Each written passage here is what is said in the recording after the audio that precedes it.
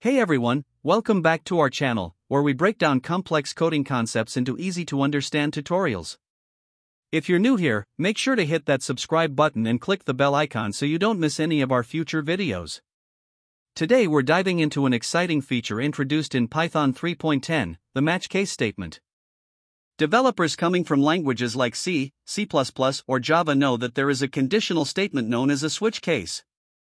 This match case is the switch case of Python which was introduced in Python 3.10. It allows for cleaner and more readable code when you need to match variables against a series of patterns. Let's jump right in and see how it works.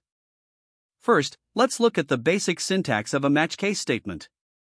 Here I have a function called getDayName, and I passed a parameter day.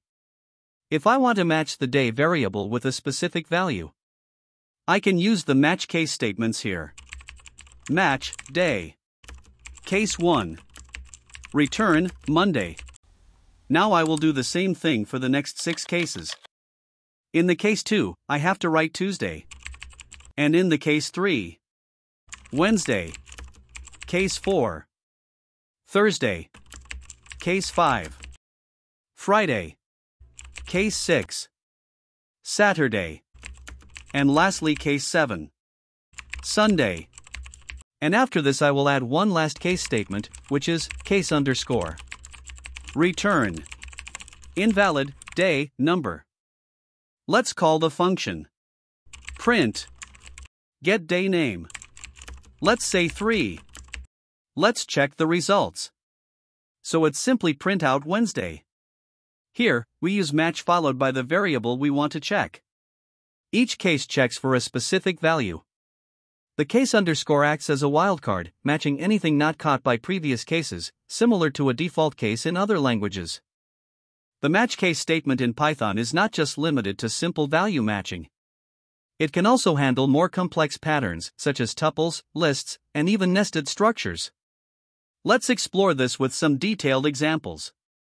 First, we'll look at how to match tuples. Tuples are ordered collections, and we can use pattern matching to destructure and work with their elements directly. Here I have a function called describePoint, having a parameter point.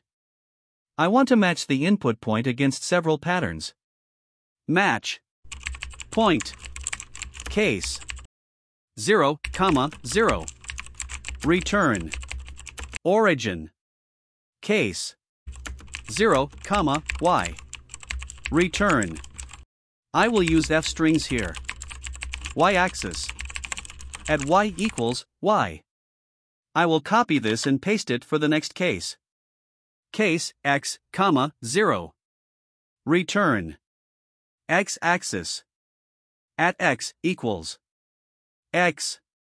One more case will be case x, comma y. Return. Point at parenthesis inside the curly brackets. x, comma, y. And the last case will be underscore. Return. Unknown, point. Let's call this function. Print. Describe, point. I have to pass a tuple containing points. 3, comma 0. Let's check the results.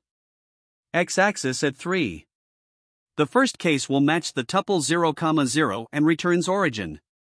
The second case will match any tuple where the first element is 0 and captures the second element into a variable y and returns the y-axis.